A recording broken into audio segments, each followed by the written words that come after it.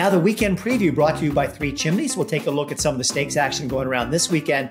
And then after that, we'll come back and take a look at the field now of the pre entered horses for the Breeders' Cup Juvenile. Uh, kind of a quiet weekend, as you would expect. But Zoe, I want to start with you because it's not a quiet weekend at Santa Anita. There's something going on in terms of what's going to happen on the racetrack and also something going on. Maybe someone could walk away with a million bucks. Tell us more. Yeah. Absolutely, Bill. While the rest of the country is sleeping and perhaps looking forward to Breeders' Cup, we're going to have our own mini Breeders' Cup this weekend at Santa Anita.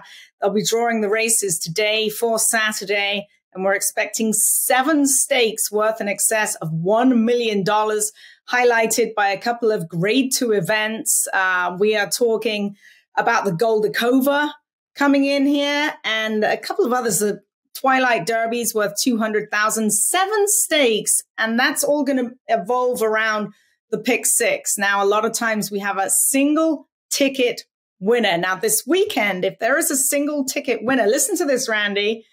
Um, First Racing is going to give up a million dollars. If you are the only ticket winner in the pick six, you will get a bonus of a million dollars. The carryover going into Saturday's pick six is 143,000. So a million reasons to play the pick six at Santa Anita and seven terrific stakes on the card. And looks like we'll see Going Global in the Goldikova stakes. She's going to face Avenue de France. She was originally slated to perhaps go to the Breeders' Cup but Phil D'Amato keeping her home, and she will most certainly be a single, I do believe, on a lot of people's tickets. She'll be in the Grade 2 Goldikova. So at Keeneland, we've got the Fayette and the Bryan Station on Saturday. Fayette is kind of, uh, you know, the conditions might be for really good horses that aren't quite good enough to run in the Breeders' Cup Classic. But you do have First Captain in there. He was third in the Jockey Club Gold Cup, won the Pimlico Special earlier in the year. And for those of us who like Tyler's Tribe, go Iowa breds. How about Ain't Life Grand, the winner of the Iowa Derby last time out, seventh in the Travers? He'll be in there as well as King Fury. Bryan Station Classic Causeway, who won the Belmont Derby in June of Grade One, will face off against, among others, Wit, who won the Better Talk Now Stakes last time out for Todd Pletcher, and Balnikhov is shipping in from your neck of the woods, Zoe, from California.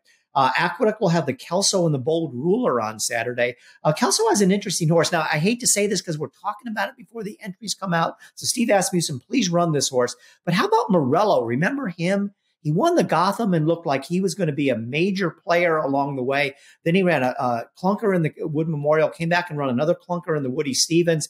But Steve Asmussen brought him back a couple weeks ago. He won an allowance race at, uh, at Laurel, of all places, to prep for this race. And uh, the Kelso, no longer a prep for the Breeders' Cup Dirt Mile, used to be. Remember, Life is, is Good won the didn't Life is Good win the Kelso? Yeah, um, which was it was situated as a prep for the Breeders' Cup Dirt Mile. Obviously, one week before the Breeders' Cup, nobody's going to come out of that and run in there. But it should be a really interesting weekend of racing at Keeneland, Belmont, and Aqueduct, and especially at Santa Anita with those seven stakes races. Uh, you know, a smart move by Santa Anita uh, to to you know. And a, on a day, Zoe, when not much is going on around the country, they're going to steal the show. I think. Yeah, I mean, they really are. And I think the bonus of a million dollars on top of the pick 6 mm-hmm. if you're the only winner, is certainly a big key because a lot of times we just had it a couple of weeks ago where it's the jackpot and it's like a regular pick six, but this is a single ticket winner with a chance of winning a million dollars. And it's going to be a really, really good card. A lot of turf racing. You'll find more and more over here on the left coast that we're utilizing our turf course an awful lot. Probably 60% of the races are now on turf because we have so many turf courses to choose from. So good races, full fields, and that is what we're hoping for. And of course, it's going to be sunny. Doesn't rain out here. That million dollars yeah. certainly captured my attention, Zoe. That's yes. yeah, absolutely right. The TDN Writers Room and the weekend preview is brought to you by Three Chimneys. Of course, Three Chimneys, the home of Gun Runner. We talked about Wicked Halo and Gunite winning for Steve Asmussen at Keeneland, both uh, the son and a daughter of Gun Runner. And of course, Gun Runner off to an amazing start in his first crop. You're looking at Early Voting, the Preakness winner, Echo Zulu, the champion two year old filly, Cyberknife, winner of the Arkansas Derby and the Haskell, Taiba, winner of the Santa Anita Derby and the Pennsylvania Derby. Three of those will be competing in the Breeders' Cup next weekend as well. We'll be right back for part two of the weekend preview after this message from Three Chimneys. Comes Taiba. Taiba in the center of the track with good looking strides, squares off with Cyberknife. Cyberknife takes the lead. Taiba going with him. These two in a thriller.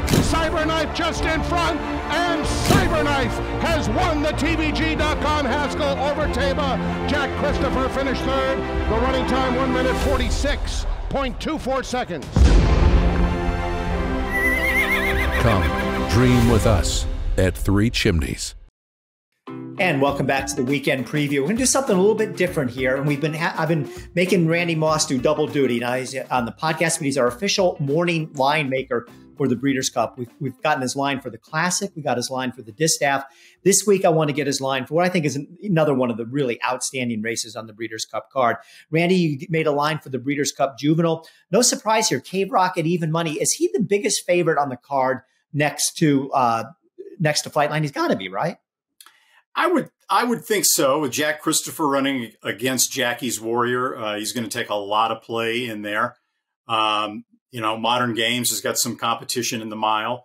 So yeah, I, I, think that's probably a pretty accurate statement. I could have gone as low as four to five on Cave Rock, and I thought about it, uh, but ultimately the points balanced out better at even money because I think National Treasure, Forte, Blazing Sevens are all going to get some play. I wouldn't be surprised, even though I've got Forte as a slight second choice. I wouldn't be surprised to see National Treasure be the second choice. The speed figure guys, I think, are going to have him with a slightly higher number than Forte, but Forte has that grade one win in the Breeders' Futurity, whereas National Treasure is still looking for his first stakes win. But those four should be significantly higher than verifying uh, the well-bred horse by a son of Justify, trained by Brad Cox, and then you have the rest of them that are going to be a pretty big price after that. But Cave Rock, Zoe, is a very exciting horse to look forward to. Uh, I know you've been uh, pleased and you've been impressed by the way he's been training out there for Bob Baffert, and he's certainly done nothing wrong in his races so far. He's a very relaxed horse. I actually swung by Bob's barn yesterday, and you know Bob was in a jovial mood, and I'm like, "Come on, let me let me go see Cave Rock," and he's like, "Oh."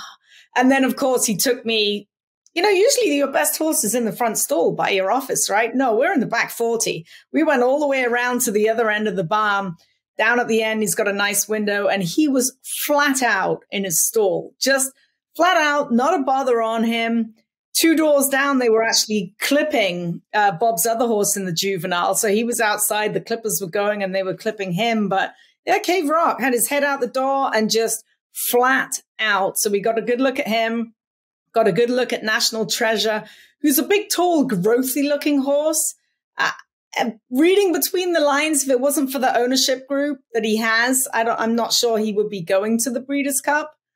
He looks like a horse who's in a growing spurt. I have no doubt he's a very, very good horse, but he just looks like he's growing right now. And next year is probably going to be where he makes a lot of the hay next year. I think he's going to be a much better horse next year. We're just seeing the raw bones but Cave Rock is just a, a bulky tank. Yes, he moves like Arrogate on the racetrack. He's got that low head carriage and he just skips along the ground, but he's got a lot more substance. He looks much more like a three year old than Arrogate ever did in his two year old year. So I got a good look at him.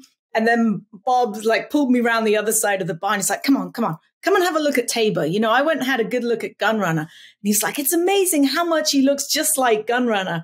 We went in the stall and he's like, I love him like right here, the barrel bit, and he's getting a little bit higher in his withers. And he is a compact horse, Taiba, but he again has hit a bit of a growth spurt and he really does look terrific going in there. And I mean, make no bones about it.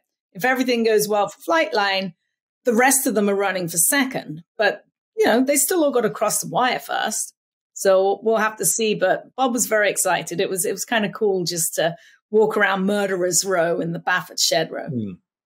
Now, a horse that wasn't entered, and we knew this was going to be the case, no Loggins, who was so impressive when running second in the Breeders' Futurity at Keeneland. I, I would have given him the best chance to beat um, Cave Rock, even though he got beat by Forte in that race at Keeneland. He had a difficult trip. He fought gallantly the wire, came back on that horse. But Brad Cox said you know, look, I, I really want to win the Kentucky Derby here with this horse. It would be for him to come back in the Breeders' Cup would have been three races in seven weeks. He admitted that the horse came out of the Breeders' Futurity at Keeneland kind of tired, didn't bounce back out of the race like he, he wanted to. Said if he was tearing the barn door down, I would have entered him. But Randy, um, where does Loggins fit into this? And are we going to see a uh, East Coast West Coast rivalry of Cave Rock and Loggins on the way to the Kentucky Derby? I mean, a million things can go wrong to derail that, but right now I think they're the, the top two two year olds out there. I mean, it could it also be an East Coast West Coast rivalry between Cave Rock and Forte. Let's see how Forte runs right. in the Breeders' Cup. I mean, he's done nothing wrong so far, but I think, and they ran against each other, obviously, in the Breeders' Futurity.